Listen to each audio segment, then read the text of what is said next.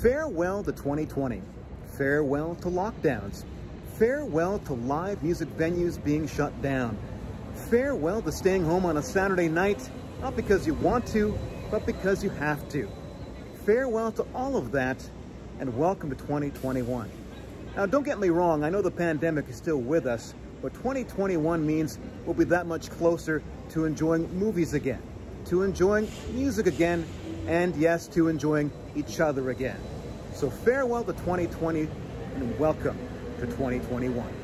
Hey there, it's Ria Renouf from News 1130 Radio in Vancouver. Now as for something I'd love to say goodbye to in 2020, oh, it totally has to be all the caffeine I've been consuming just to try and keep up with our news run. Whether it's tea, coffee, pop, you know, going through five, six, or eight or nine cups of that a day is just not good for your health. So hopefully we can put 2020 to bed and hopefully 2021 is much brighter and more beautiful.